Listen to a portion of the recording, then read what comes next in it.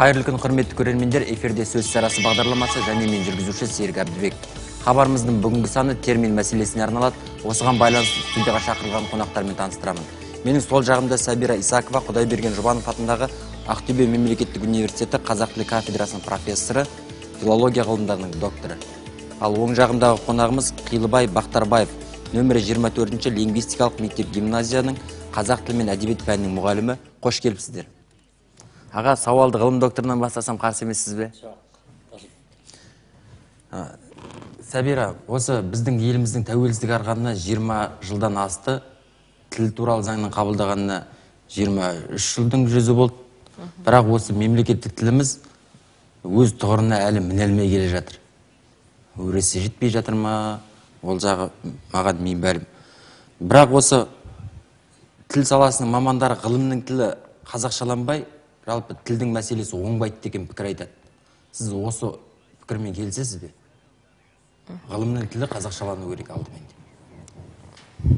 иә мен бұл бұл пікірмен келісемін өйткені шындығында да қазақ тілінің ол күре тамыры қазақ тілінің жалпы мынау ә, ресми қарым қатынаста болсын ол халықаралық қарым қатынас болсын басқа ғылым білім тәрбие барлық салада да қазақ тілінің термині жасалынуы керек ол қазақша жасалынуы керек.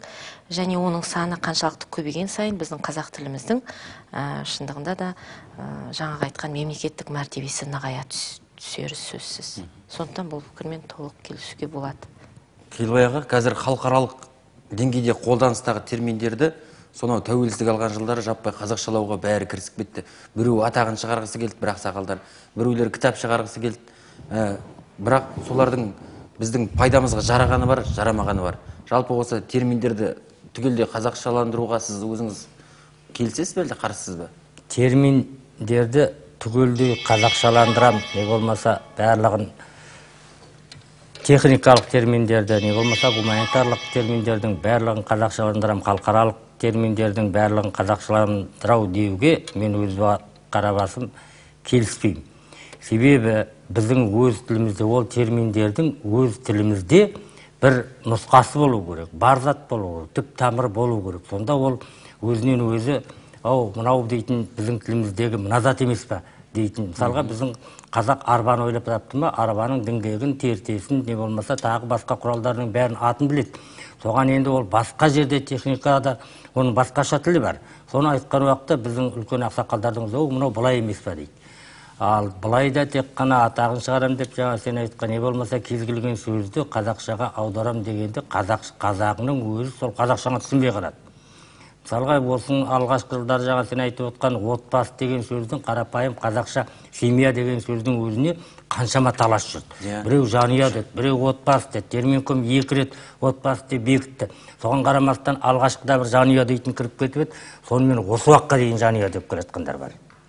Жалпы сөздің терминдегі сөз болсын қарапайым тіпті терминге бармай ақ ғылымға бармай ақ қарапайым адам мен адам пікірлескендегі сөздің мағынасын арғы түп төркінін адам түсініп тұру керек қой. Мына ағамыз айтып отыр қонақ ағамыз ол кісінің айтқанымен де келісуге болады. Шындығында да біз барлық терминдерді түгелдей қазақша қазақша қазақшалауға мүмкіндік жоқ. Оған бір жағынан жаңағы айтып отқан ол заттың шындығында да бізде пайда болғаны бар немесе басқа елден алғаны бар. Ал енді екінші жағынан қазақшаламауға тағы болмайды. Өйткені мысалы өздеріңіз программа деген сөз алатын болсақ сол программаны қазір бағдарлама деп біз аудардық. Ол бекітілді терминдер. Қазір сол программа сөзінің қазақша баламасы бағдарлама. Мысалы сөз сарасы бағдарламасы деп айтып отырмыз. Ол біздің бұл жағынан бір жағынан қараған кезде шындығында да мына тілдік мына түркі тілдер тобына жатамыз біздің қазақ тілі. Соның кәдімгі үндестік заңы бар. Сол үндестік заңға сәйкес келіп тұр. Біз сөз сарасы программасы десек ол жерде көріп тұрсыз ба? Үндестік заңының өзі мына айтылуымыздың өзінде біздің табиғатымызға жат нәрсе көрініп тұр. Қазақ тілінің үндестік заңы сақталынбай тұр көрдіңіз ба сонда егер біз тілімізден ә, сол орыс тілінде немесе басқа ағылшын немесе басқа еуропа тілдерінің біреуінде пайда болған терминді егер соған тап сол мағынасын ә, сол заттың мағынасын ашатындай айтқан кезде түсінетіндей ә, сөздің баламасын табатын болсақ оны біз қазақша қолдануға тиіспіз және оны бекітуге тиіспіз. Себебі бұл біздің шындығында да жаңағы айтып отқан бар сөздік қорымызда бар дүниенің негізінде аламыз. Көрдіңіз ба бұл жерде сөздің шарттылығы деген термин шартты нәрсе. Шартты нәрсе. Мысалы өздеріңіз өздеріңізге белгілі алғаш осы қазақ тілі мемлекеттік тіл алып осы жалпы бағдарламалар көбейіп теледидарда мына түрлі жарнамалар беріле бастаған кезде алғашқы кезде қазақша жарнамалар шындығында біздің құлағымызға біртүрлі түрпідей тиді. Мына сөз былай деген ол қалай екен деп сөздікке жүгіретін кезіміз болды біз өзіміз тілші маман болғанның өзінде. Ал қазір келе келе біз ә, тіпті мысалы сіздердің телеарнадан болсын басқа телеарнадан болсын қазақша беріліп жатқан жарнамалардың тілін біз ешқандай жатсынбастан қабылдаймыз. Бұл сол тілдің өзінің шарттылығын көрсетіп сондағы жаңа қолданып тұрған терминдердің ә, қалыптасқандығын. Мына термин қалыптасты ма әлде? Жаңағыдай келеңсіз сөздерге құлағымыз үйреніп кетті ме? Жоқ келеңсіз сөздерге құлағымыз үйренген ол е- екінші бір мәселе. Ондай келеңсіз сөздер жоқ емес деп айтып отқан жоқпын ондай, ондай сөздер бар.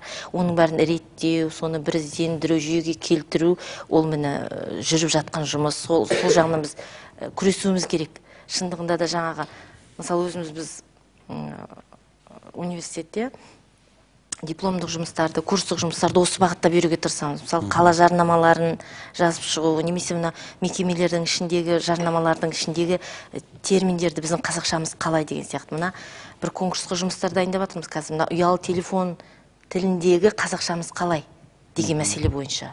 Шындығында бұл өте өзекті мәселе. Егер біз соны студенттерге зерттетіп содан бір қорытынды шығарып оны бір мақала ретінде немесе өз- өздеріңіз бағдарламаларыңыз арқылы халыққа жеткізетін болсақ халық ә, бірте бірте түсінеді. Шындығында да мына терминнің баламасы мынау екен оны біз былай қолданайық біріздендірейік деген мәселелер мысалы nokia теле жаңағы телефонын алып немесе lg мен екеуін салыстыратын болсаңыз екеуінің ішінде қазақшасы екі түрлі. Мысалға ба? компьютер деген сөзді алайықшы. Иә. қазақшалауға келе ме? Бола ма? Міне осыны ғаламтор деп компьютер. Ғаламтор интернет. А интернетке ғой компьютер дейсіз ба? Міне қараңыз енді компьютерді мына түріктер өзі- өзіміздің енді түбіміз бір түркі тіліміз ғой. Түріктердің өзі білге саян деп алыпты. Білге сай білге саян деп. Яғни бәрін біледі. Оның ішінде бүкіл бағдарламасы бар деген мәселе. Мысалы енді қазіргі біздің мына терминология бойынша негізгі мына мемлекеттік деңгейде жүргізіліп жатқан жұмыстардың бірі бұл осы түркі тілдеріне ортақ термин құр қалыптастырсақ деген мәселені көтеріп жатыр. Шындығында да бұл кәдімгі өзекті мәселе. Себебі ә, қазақ тілінде жоқ нәрсе ол түрік тілінде болуы мүмкін. Түрік тілінде жоқ нәрсе ол татар тілінде болуы мүмкін немесе өзбек тілінде болуы мүмкін. Себебі өзбек пен түріктер өздеріңіз білесіздер олардың мына жазуының өзі латын графикасында ғой. А біздің түпкі мәселеміз латын графикасына не үшін көшкіміз келіп отыр? Мысалы оған да қарсы бағыт бар қарсы емес бағыт. Оның өзі осыған келіп саяды мысалы біздің егер жазуымыз бір болатын болса шындығында біз жаңағы айтқандай мына компьютердің тілінің өзін қазақшалауға мүмкіндік аламыз. Себебі қазір біз компьютеріміздің өзінде көп бағдарламалар жоқ. Мысалға қарапайым мысал айтайын. Ә, орыс басылымдарының бірінен мен мынандай мәліметті көзім шалды осыдан бірнеше жыл бұрын. Біз компьютерде қолданатын тетікті мышь дейміз. Орысша қарапайым айта саламыз. Ә, соны орыстар жазыпты. Осы құрылғыны американдықтардың ойлап тапқаны қандай жақсы болды. Егер бұл құрылғы ресейде шығарылса біз оның атауын компьютерді қозғап оған белгі беретін деп шұбалаңқы бір атаумен атайтын едік. Ал шетелдіктер оны мышь деп атай салды деді дәл осы сөздің қазақша баламасын мен жақында естідім. Маған жақты. Тінтуір дейді мысалға. Бекітілді бұл иә тінтуір бекітілді ме? Бекітілді. Осындай сөздер аға түпкі баламасын ашып тұр ғой тінтуір иә. деген. Неге қолданбасқа? мағынасын иә. Неге қолданбасқа осы сөзді? Бұл біздің сөздік қорымызды ғой. бағдарлама деген сөздің өзінде жаңағы алдында айтқан өзімізде бар. Бағдарды білдіреді деген сөз ғой бағдар алға. Алдағы бағдарымыз алдағы Иә, бағдарды білдіреді. Бағдар дейтін соның сосын көп мағыналылығына келгенде ол жайылады. Сол, сол сияқты табылмай жүрген осындай терминдерге көп қиналған алғашқы жылдары мынау кәдімгі оқушылардың шығарма жазады ғой. Кез келген адам шығарма жазғанда оны бір қағазға жазып алып барып қайта көшіреді қазіргідей бұрында машинкамен басты қазір сол мынау черновик дейтін де аудара алмай жүр. Бірінші көп талас болды оғанда. Ана оқушылар шығарма жазғанда басына черновик деп кейбіреу черновик деп жазып қоя беріңдер кейбіреу жаупарақ деп жазыңдар деді жаупарақ деген не деді? Ода үйлеспейтін сияқты шимайбет деп жазып жүр. Сосын екі үш түрлі келіпті шығарма шимайбет деп жазған. А, шимайбет дейтін де ши- шимайлайсың өйтесің бүйтесің деген жаупарақ деген бұл жерде жаудың қандай қатысы бар енді? Ол да сөйтіп сөйтіп келгенде ақырында бір тоқтамға келді. Ол кәдімгі жоба деген сөз. Шынында жоба деген логикаға сыяды проекті абс- жоба.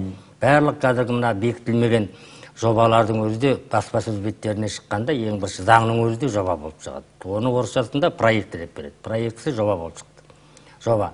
Ол талқылаудан өткеннен кейін барып бекитін. Шынында да мынау жаңағы шимай бетіміз жаупарағымыз ол өзі тексеріп 99 қарап сөйткеннен кейін барып дұрыс қағазға барып түседі бекітілген сияқты.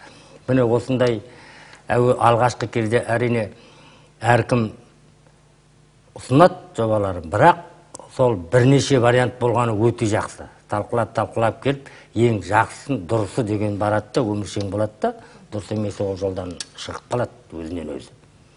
Халықаралық терминдердің көпшілігі қай тілде қазір? Біздің қолданысымызға еніп жатқан. Осы халықаралық терминдер деген өте бір күрделі мәселе. А, жалпы халықаралық терминдер деген мына орыс тіл білімінің өзінде халықаралық терминдер жоқ. Бұл жасанды атау деген пікір бар. Маковский деген ғалым келтіреді осы пікірді өзінің еңбегінде. Себебі халықаралық термин деп отқанымыз ол экономикасы жаңағы э, дамыған. дұрыс айтасыз. Үстем мемлекеттер. үстем мемлекеттердің тілінен шыққан сөздерді біз халықаралық терминдер деп отырмыз дейді. Сондықтан бұл жасанды атау деген кәдімгі дәйектеме келтіреді. Шындығында да бір мемлекеттердің өндірісі жан жақты дамиды. Дұрыс айтасыз. Сондықтан компьютерді шығаратын да солар дұрыс айтасыз. Олар жаңа түрлі басқа да құр- құрал жабдық басқа адамның бүкіл өміріне қажетті дүниелерін бәрін шығарады да солардың барлығы бүкіл жаңағы мынау немене дейміз ә, біздерге сіңіреді. біз қабылдаймыз Иә. оны. Сонда ол жаңағы тілдің оның ең біріншісі жаңағы америка құрама штаттарын айтады. Одан кейін европаның дамыған мемлекеттері ол франция германияңыз жатады. Содан кейін барып жаңағы англия міне осылардың барлығы европа мемлекеттері. Осылардың барлығы келеді да өздерінің жаңағы заттарымен бірге немесе бір процестермен жаңағы басқа да ә, түрлі мына қарым қатынас саласында өздерінің тілдерін дамытуға жаңағы мүмкіндік алады. Сосын осы тілдердің шыққан терминдерді біз халықаралық терминдер деп атап жүрміз. Бұл шартты нәрсе дейді. Енді қараңыз осы тілдердің ішінде шығыс тілдер жоқ. Мысалы үшін қытай тілі. Халықаралық термин деп жүргеннің ішінде тек қана біз айтып отқан еуропа мемлекеттерінен енген сөздер олар енді орыс көшірме жасаудың шебері ғой. Иә қараңыз. Орыс тіліне енеді олар біріншіден. Орыс тілі мына мысалы француз тілінде спор дейді спорт дегенді орыстар соны спор деп алмайды там т оқылмайды онда. Ағылшындар тағы да басқаша айтады. Немістер тура сондай бірақ себебі олардың латын грек қой енді түбі. Енді осылар орыс тіліне енген кезде өзінің орыс тілінің фонетикалық орфографиялық ережесіне сәйкес өзгере қалады. Заңдылықтарын сақтайды орыстар өздеріне қолайлы қолайсын Иә, иә, жасап алды. Себебі өздерінің жаңағы жазуына орфографиясына салып айтылу орфоэпиясын бәрін дұрыстап өздерінің жаңағы мына мектептен бастап балабақшадан бастап балаларының айтуына ыңғайлы. Олар біз сияқты жаңағы өздерінің халқын ойлайды көрдіңіз ба міне бұл бұл жерде шындығында да отаншылдық отансүйгіштік көрінеді. Себебі өзінің тіліне жаны ашып тұр ол сөз өзінікі деп тер біз сияқты жаңағыдай принцип ұстанып тұрған жоқ. Бұл халықаралық бұл халықаралық термин. Бұл бұл жаңағы америкада да спорт анада да спорт сондықтан біз бұны жасаған жоқпыз. Себебі бұны біз осы күйінде қалдырайық деп айтпайды олар. Көрдіңіз ба спортты алып тұр олар бірақ өздерінің орфографиясына сәйкестендіріп күшінің арты жермен тартады дейді. Бізге орыстардың үстемдігінің осы арада көрініп тұр ғой. Көрініп тұр дұрыс қаншалықты. Иә, ықпалдылығы. Ықпалдылығы. Сол күйінде қабылдап отырмыз ғой. Сол күйінде қабылдамас десек біз. Қабылдамасқа амал жоқ. Себебі ол орыс алып мемлекет империя болып болды. Бұрында қазірде империя бір біз соның дәл іргесінде онымен көршілес бірге отырмыз. Екі үйдің жаңағы бір үйдің мынандай бөлмесінде отырған сияқты. Біз одан тона арабия сияқты не болмаса мұхиттың ар жағындағы ел емеспіз. Мысалға ол орыстарды орыс тілін мүлдем оқымайтын да білмейтін де мысалы моңғолия мемлекеттер көп. Қытайлар олар мынандай орыста мынандай сөз шығып жатыр екен демейді. Мысалға қытайда ыр әріпі жоқ қой. Бізде біз көрші болғандықтан кейін соның өзінде бізге де бірден тек келіп кіріп кеткен жоқ. Бізге енді көп жыл байланыста болдық қой. Үш жыл несте болдық. Одан кейін соғыс болды аралас. Мына соның өзінде күні кешеге дейін біздің қарттарымыз москваны москва деген жоқ. Мәскеу деді. Мәскеуға барады мәскеуде ал бірде бір жаңағы европа елдерінде бәрі мынау шығыс елдерінде оларда москва деп айтпайды Москва. Мос- москва дейді жазылуда да бәрінде де москва дейді бүкіл жерлерде де ол ана адамның табиғатында әуелде қабылдауында сол қалай аталды оны бір москва дегенге тілі келмегендіктен емес ол кейінгі кезде бәрі де біздің орта білім алмаған қазақ болған жоқ біздің оқулықтарымыздың бәрінде москва деп жазылды оқушылар москва деп жүрді сөйте тұра жаңағы адам үлкейгеннен кейін жаңағы москваны көпшілігі москва деп москва деп айтсаң да шалдармен москваға көрмеге бардық деп келді.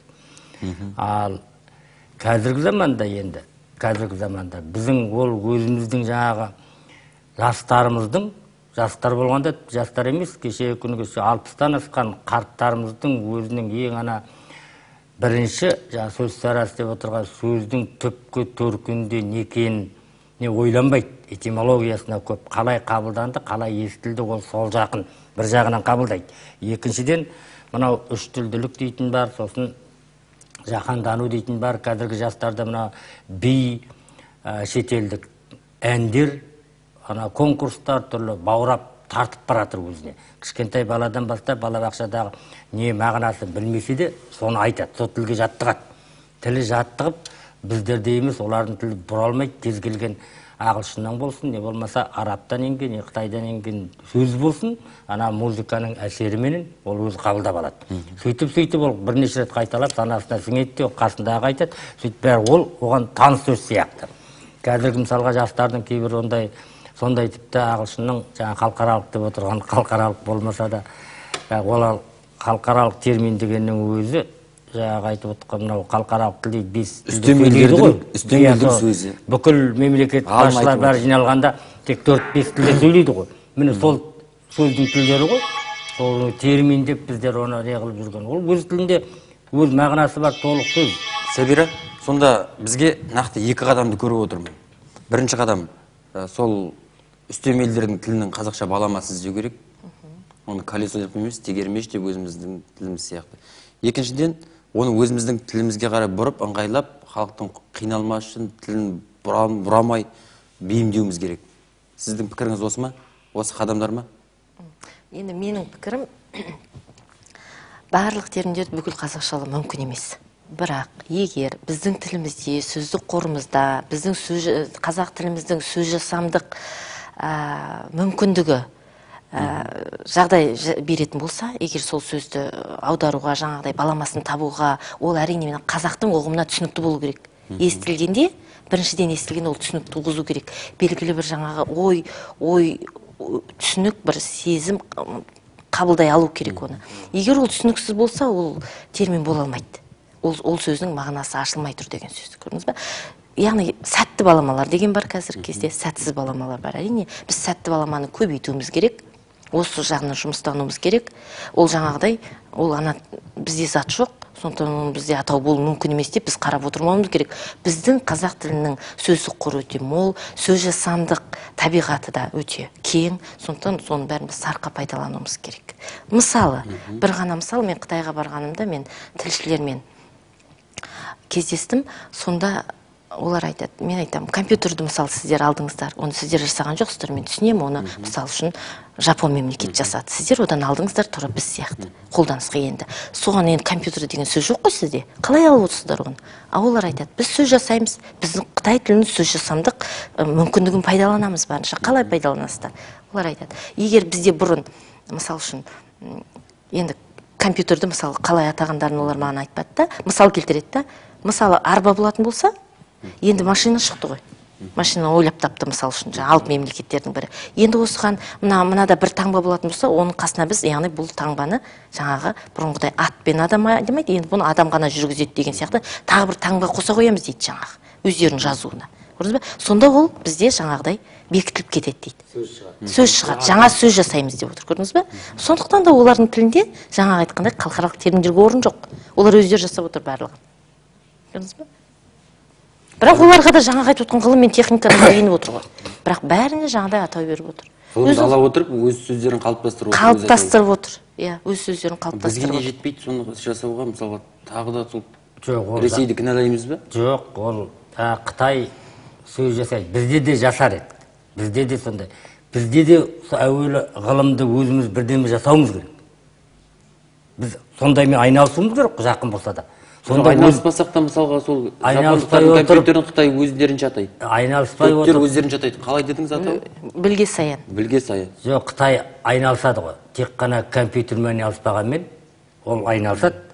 Олардың біз дамығаны оны мойындау керек дамыған ол дүниежүзіне экономика шығып тұр. Жоқ, ол енді бізде мысалға сандық мысалға сандықша сияқты қылып бір нәрселерді сондай ішінде жасаса мысалға черный ящик дегенді қараса қара сандық қара ящик дейді ғой әлі. Біз бәрібір самолеттік ғылым мен техниканың өркендеуіне оларға жете алмаймыз. Ал сөзімізде қалып қоя береді сонда. Сіз айтпағыңыз осы ма? Сөзді бөлек қалыптастыру керек техниканы шығару бір басқа ол. Жоқ неге? Менің айтып отырғаным енді ол шындығында да жаңағы айтып отырған бұл жерде біздің мәселеміз біз европа мемлекеттерінің ішінен франциядан да жаңағы ұлыбританиядан да тікелей сөз алып отырған жоқпыз. Біздің бар мәселеміз орыс тілінен алып отырмыз сөзді көрдіңіз ба? Енді мәселе осы орыс тіліндегі сөздер неге мысалы помидор помидор деп айтамыз біз? Қазақша да помидор орысша да помидор. Осыған дейін қазір қызанақ деп келдік. Мысалы осы қызанақтың помидордан несі кем? Неге ол? Мысалы неге? Мысалы қызыл деген сөз оның көрдіңіз ба уәжін білдіріп тұр. Жаңағы айтып отқандай мысалы тышқанды тышқан деп неге атаған олар мышь деп? Себебі оның түрі ұқсап тұр. Өзі атау беру теория номинация деген бар атау беру теориясында міне сыртқы ұқсастық деген болады ішкі ұқсастық. Міне осыған байланысты атау беріледі. Бостан босқа мынау үстел мынау немесе басқа нәрсе деп айтылмайды. Ол өзі кәдімгі ә, сөздің өзі табиғаты. Соны оны адам ойлап табады. Міне ол та- танымдық жағы. Көрдіңіз ба ол адаммен байланысты сөз. Себебі сөз өзінен өзі пайда болмайды. Себебі адам ойлайды. Тінтуір олардан гөрі сәтті шыққан сияқты. Көрдіңіз ба олардан да гөрі сәтті шығып тұр. Сонда біздің сөз жасамдық ә, бар ғой. Қорымыз болып тұр ғой. тінтуір деген сөздің өзі тінті деген сөзден шығып иә, тұр. Көрдіңіз ба іздеп түрі ғана емес, түрі түс емес ол. Иә емес бұл ішкі мағынасына кіріп кетіп тұр ғой. Ашып тұр, формасы көрдіңіз ба сыртқы формасына қарап жасалған сөз емес қой. Міне мәселе осы осындай сәтті сөздеріміз барда біз неге қашамыз? Неге өзіміздің жаңағы сөздік қорымызды 80-90 пайызға дейін көтермеске қазақ тілінде? Түсінікті бізге берген уақыт осымен шектелді. Ғалымдар мен ұстаздар бірігіп бізге термин жасап қазақтың сөздік қорын молайта беріңіздер уақыттарыңызды бөліп келгендеріңізге рахмет. Құрметті көрермендер сіздердің тамашалағандарыңыз сөз сарасы. Келесі жүздескенше ел аман жұрт тыныш болсын.